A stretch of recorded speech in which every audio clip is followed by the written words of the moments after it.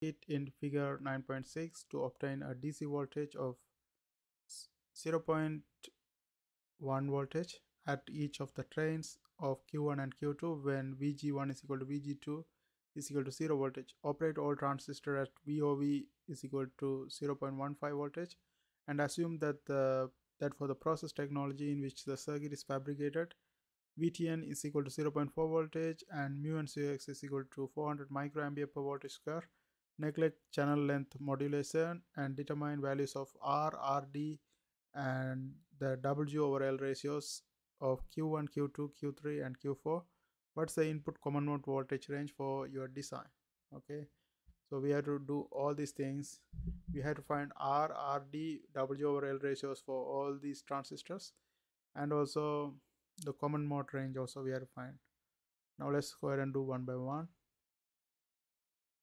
so first if we start with r r you can see in the circuit that's right here. And here we have a voltage provided to us 0.9 voltage. And here we have the current also available. Uh, we don't know the resistance r.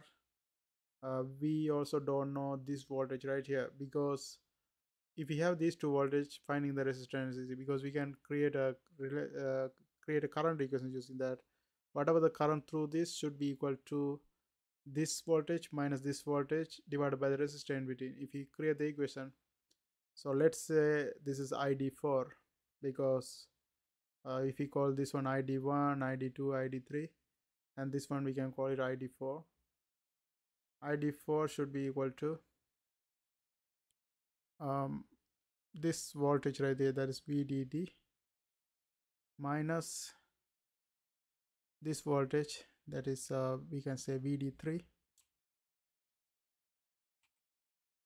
VD4 actually because the MOSFET is 4 so VD4 divided by the resistance between that is R. So if we rearrange this one R is going to be equal to VDD minus VD4 divided by R. And uh, VDD is available 0.9 voltage. And VD4 is the voltage right here and we don't know that so we cannot try this because we had find the voltage there. So VD4 is whatever the voltage in the gate because if you see this is a diode connected so if there's a voltage here that is the exact same voltage we're going to have right here as well. Okay so if we find VG that is the VD VD4 but we don't we also don't know the VG but we know V over drive uh, let me use a different color. We know v over drive to be 0 0.15 and uh, this v over drive is nothing but vgs minus v threshold. Okay. Uh, v threshold is available to us. That is the vtn right here. That is 0 0.4 voltage. So we can solve for vgs from this. Vgs is v over drive plus vtn and uh, V over drive is 0.15 VTN provider is 0.4 so we end up getting 0.55 for VGS and this VGS is nothing but VG minus VS if you find VG that is the VD4 because these two are diode connector. This is a VD4 this is VG same equal. Because it's diode connected. So if we solve for VG then we are almost done. So here uh, VGS plus VS should be equal to VG then uh, VGS we found out by 0.55 and VS is whatever the voltage in the source. In this case they have provided negative VSS equal to 0.9 voltage but we are interested in the VS that is positive 0.9 so I put that one right here. So if we do that then we end up getting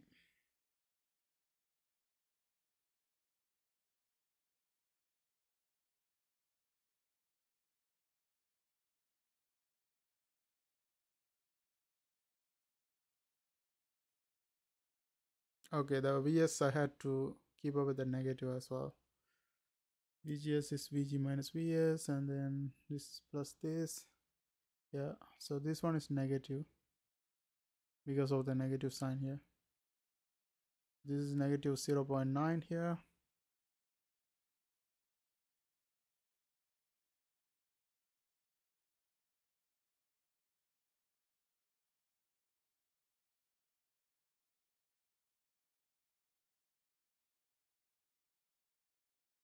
okay.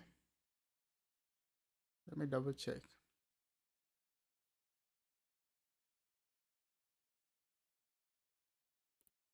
Zero point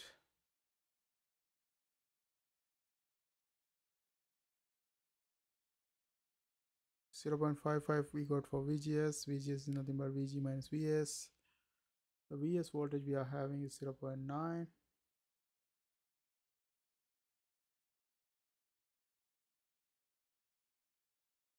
Okay, so we are getting we are going to get a negative value for this. Negative zero point 3.5 okay. And then we have to substitute that one over here.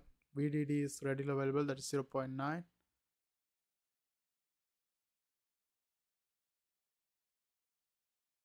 0 0.9 and then that one minus this voltage that is negative 0 0.35 voltage right here voltage divided by okay this one is if you rearrange it this is divided by id4 okay the what of the current here that is 0.1 milli here. And if you calculate this value you will end up getting 12.5 kilo ohm resistance.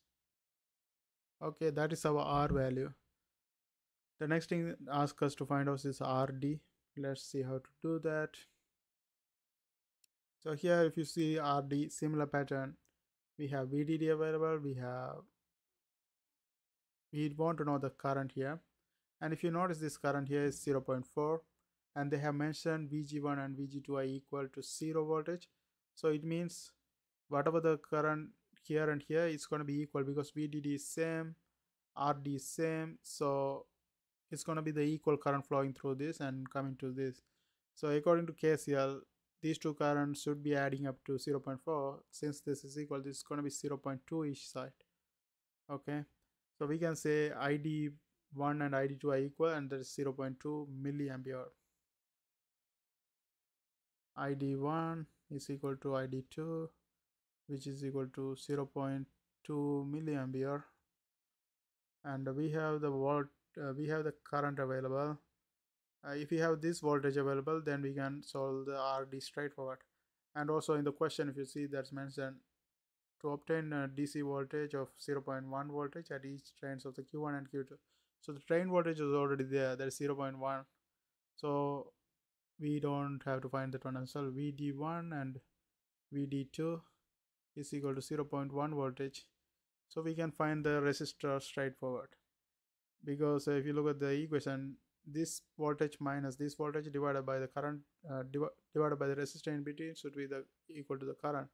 So if we create the equation for the current id1 id1 should be equal to vdd minus vd1 divided by the resistance in between that's rd therefore rd is equal to vdd minus vd1 divided by the id1 and vdd is already there that's 0.9 voltage.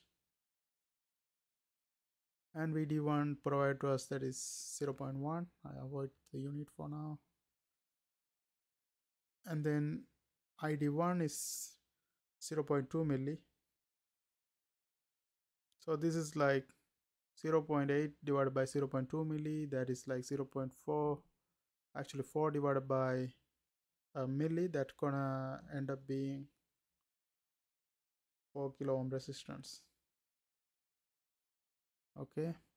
Now we have found out the rd value. The next thing uh, they're asking for us to find out the w over l ratio of q1 q2 q3 and q4 and we know that uh, q1 and q2 are forming current mirror. Current mirror mean equal current. It means these two are matched.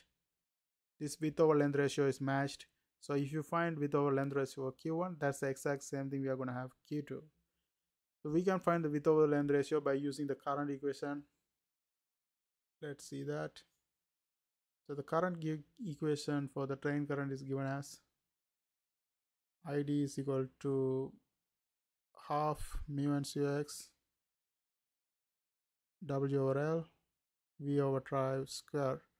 And uh, if we want to find for the id1 then we have just put this on id1 and this is w over l1 okay others gonna be the same. So if we consider id1 then this is zero if we rearrange this one in terms of with over length that's what we are trying to find. That's going to be equal to id1 times 2 2 id1 because this 2 multiplies and then mu and cox and dv over drive square divides and we have all the values available 0 0.2 milli. And mu and cox is provided to us that is 400 microampere per voltage square so there's 400 micro. And V over drive is provided to us that is 0.15 voltage. 0.15 and if we this is square. And if you calculate this value that one comes out to be 400 over 9 and this is going to be the exact width our length ratio we are going to have for the second transistor as well because these two are matched. So 409 over 400 over 9 for the W over L2 as well. And if you look at the third one and fourth one they are not having equal current flow. This is 0.4 milliampere. Here we have 0 uh, 0.1 milliampere. So this is not a equal current flow and this is not a current mirror therefore the width over length ratio is going to be different. We have to calculate for individually for each of them both of them. Since we know the current uh, other variables are already available mu and cx available v over drive available this is also straightforward like this. We have to just rearrange the equation and bring it to this term. So now if I want to find out for the 3 I have to change this W over L3 and ID3 that's the only things has to be changed others otherwise the equation is going to be the same so instead of bringing the equation again. I'm just going to copy this from here. W over L. And this for the 3 that is equal to 2 ID3 divided by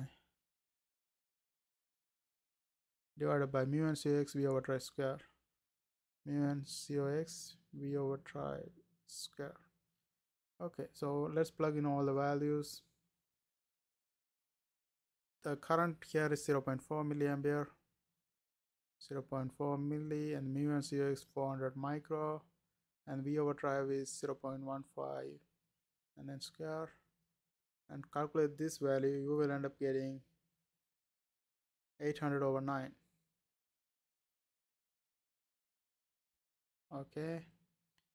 And uh, you can see how uh, how this WL and uh, ID3 are connected the current over current and W over L is directly proportional so it means if this is 0.1 this should be four times less than this one because uh, since current and width over length ratio are directly proportional uh, if it's four times lower then this one should be four times lower. as for example uh, if we look at the top one top one each side that's 0 0.2 so this should be half of it.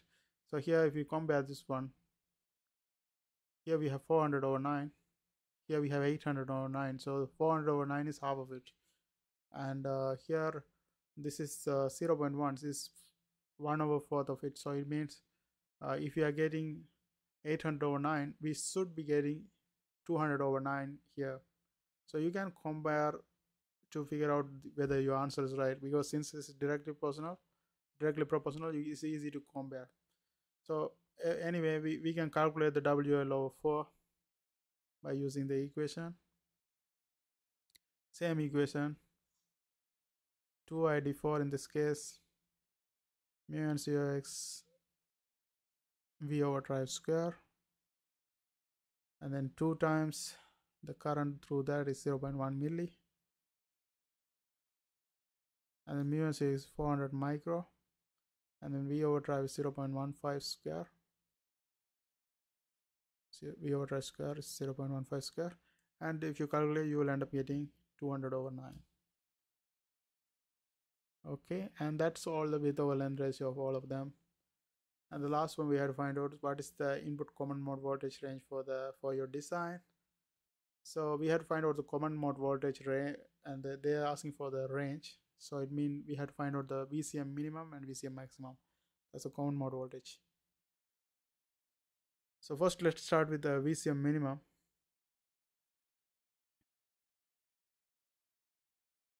VCM minimum. For VCM minimum what we have to do is we have to just apply KVL on top.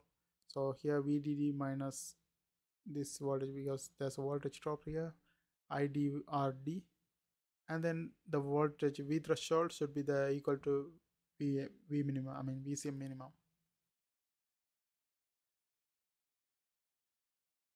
Actually VCM max we are looking on top. So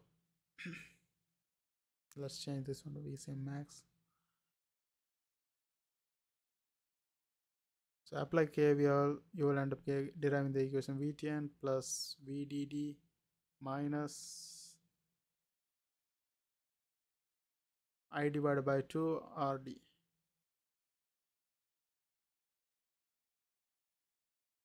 and then V, th v threshold is provided to us that is 0.4 voltage. And then VDD over here is 0.9 and then the current here is I divided by 2 because that's uh, that's half of this I this is I I divided by 2 that is you can either say 0.4 divided by 2 or you can straight away write 0.2 milli for this term. So I put 0.2 milli here and then RD value. That one we calculated somewhere here. Yeah that is 4 kilo ohm. Okay. And calculate this one you will end up getting 0.5 voltage okay for VCM mix minimum we had you had to look at the bottom of it. Uh, we had to apply KVL on the bottom. So here in the bottom we have negative VSS and we have the overdrive voltage of this and this one.